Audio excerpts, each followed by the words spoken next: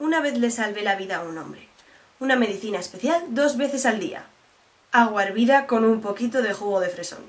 Le dije que se lo había comprado a los enanos. La verdad es que eso es lo más importante. La mayoría de la gente podría superar la mayoría de las cosas solo si se lo propusieran. Así que hay que darles un aliciente.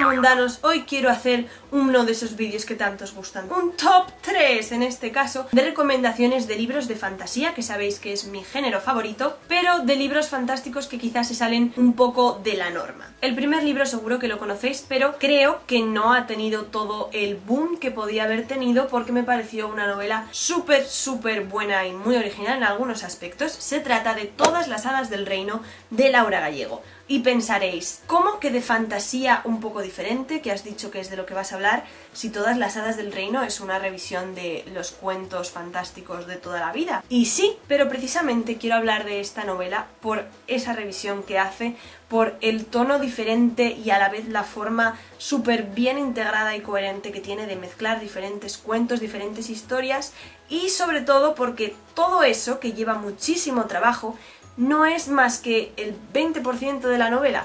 En realidad tiene una trama mucho más potente que no es en absoluto la que uno se espera cuando empieza a leer el libro y que de hecho no es la que se espera ni cuando va por la página 200 del libro porque el caso es que tiene hacia la mitad de la novela que se aleja totalmente de todo el camino que parecía que te había estado narrando durante la novela. Tiene una protagonista brillante, una evolución impresionante y aunque hubo algunos aspectos hacia el final sobre todo que no me terminaron de convencer, me parece que es una novela autoconclusiva súper completa que realmente te cuenta más cosas y evolucionan más los personajes que en muchas sagas enteras. Una novela que es mucho menos conocida, pero que también es fantástica en todos los aspectos de la palabra, es El ritmatista de Brandon Sanderson. Brandon Sanderson es un autor de fantasía muy conocido, pero que sobre todo ha escrito novela adulta. Os hablé de este vídeo en un wrap-up, no recuerdo dónde. Está ambientado en un pasado alternativo, por así decirlo, en el siglo XIX, lo cual para empezar ya es original porque las novelas de fantasía suelen estar ambientadas o en la actualidad, en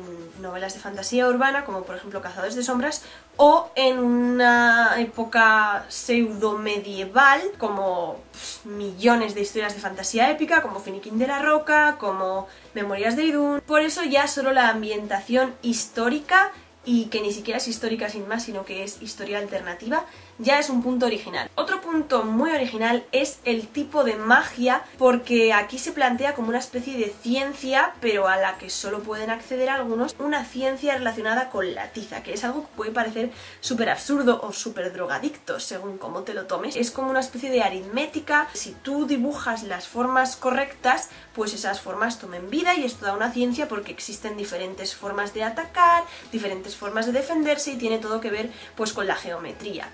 Solo puedes hacer que estos dibujos de tiza funcionen mágica y correctamente si tienes un don, si has nacido para eso, por así decirlo, o si has sido escogido más bien. El caso es que aparte de la ambientación, tanto temporal como ambiental del universo mágico que crea Sanderson es una pasada, es algo súper original, está creado al detalle, pero es que además tiene una trama muy interesante de misterio. He leído dos novelas suyas y me ha pasado lo mismo con las dos.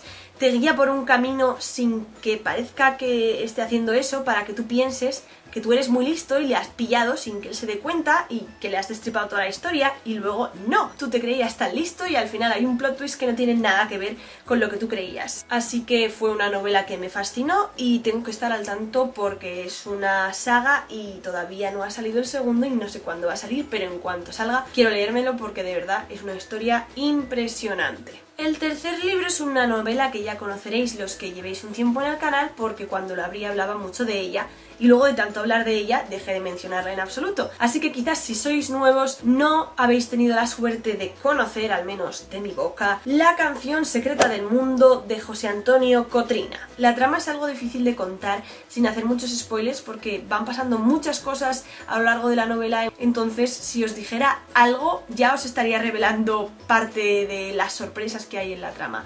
Simplemente hacedme caso, es una trama impresionante con muchísimo ritmo, constantemente están pasando cosas, cambiando las tornas, habiendo giros argumentales, pero lo que realmente me fascinó de esta novela es el estilo y la ambientación de José Antonio Cotrina.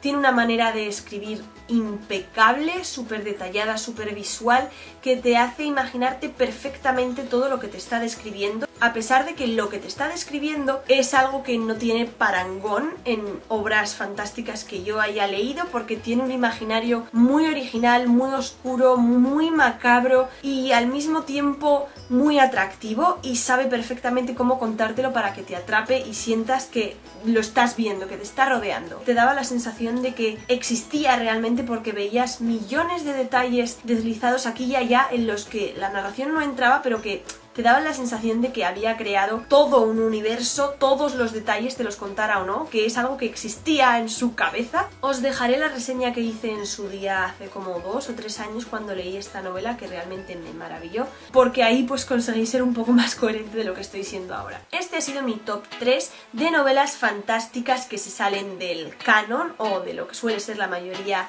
de novelas juveniles de este género y me encantaría que me contaseis si las habéis leído, qué os han parecido o qué otras novelas de este tipo, así que se salgan de lo normal en su género, me recomendáis a mí. Podéis hacerlo en los comentarios o en Twitter o en cualquier otra red social mientras llega la semana que viene donde nos veremos en un nuevo vídeo, como siempre, el jueves a las seis y media. Y hasta entonces, ¡bye!